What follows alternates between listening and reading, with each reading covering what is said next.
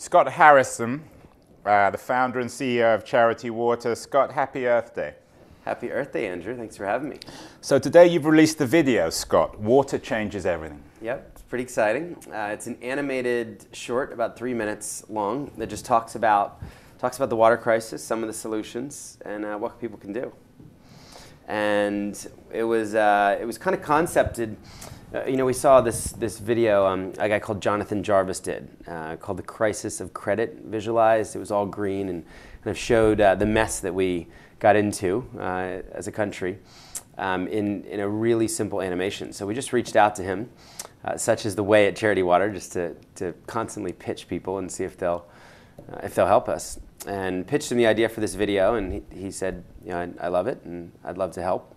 And then um, Kristen Bell, uh, who's an actress, was coming to Africa with us. She'd raised about $100,000 through her birthday uh, by giving up her birthday. And we asked her um, in Africa, so she couldn't really say no, whether she would do the voiceover. And the thing came together, and um, we're really proud of it. So, for people who haven't seen the video, Water yep. Changes Everything, how does water change everything?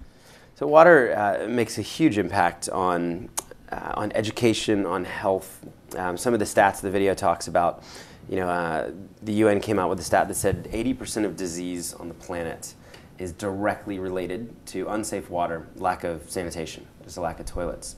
Uh, there's a stat in the video 40 billion hours are wasted in Africa every single year uh, just by you know, women and children fetching water. Uh, that adds up to more than the entire workforce of France. So, you know, I was interested in microfinance, I was interested in health, I was interested in education. I learned that half of the world's schools didn't have clean water or toilets.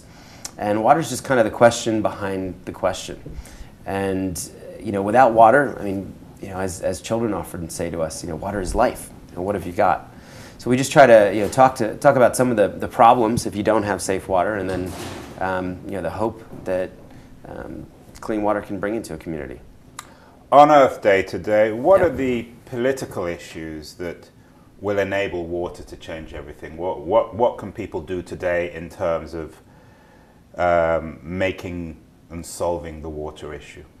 Sure. I mean, I think um, you know conservation here at home is is always an easy step, uh, using less water.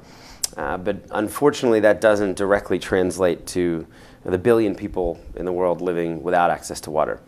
You know, for instance, uh, each American um, here in this country is responsible for about 150 gallons of clean water per person per day. And some we drink, some we flush down our toilets and wash our clothes with, some are in our pools and golf courses. I mean, it's, a, it's an astonishing amount of water, 150 gallons per person.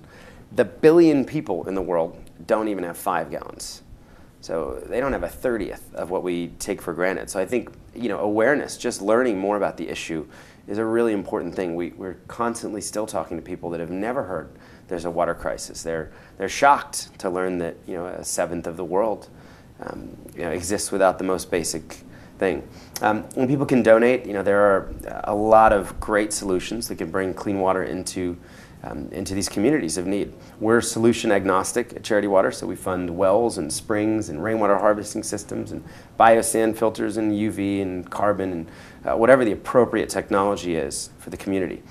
But uh, $20 um, gives one person clean water or access to a clean water project. So it's actually very manageable. Um, a billion people, you know, without water, and there's a lot of work to be done. So I'd say today, you know, people could just get aware. Um, certainly, um, conserve water here, and you know, if they're interested, they could donate. One thing that people could do today on Earth Day in terms of conserving water: not taking a shower, not washing, not not watering their, their lawn.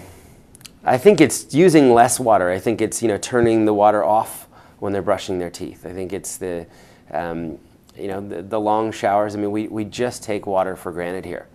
Um, and, and maybe you know imagining a typical woman in the developing world who um, that very morning uh, is walking three or four hours to, to a water source, which is a, a muddy spring.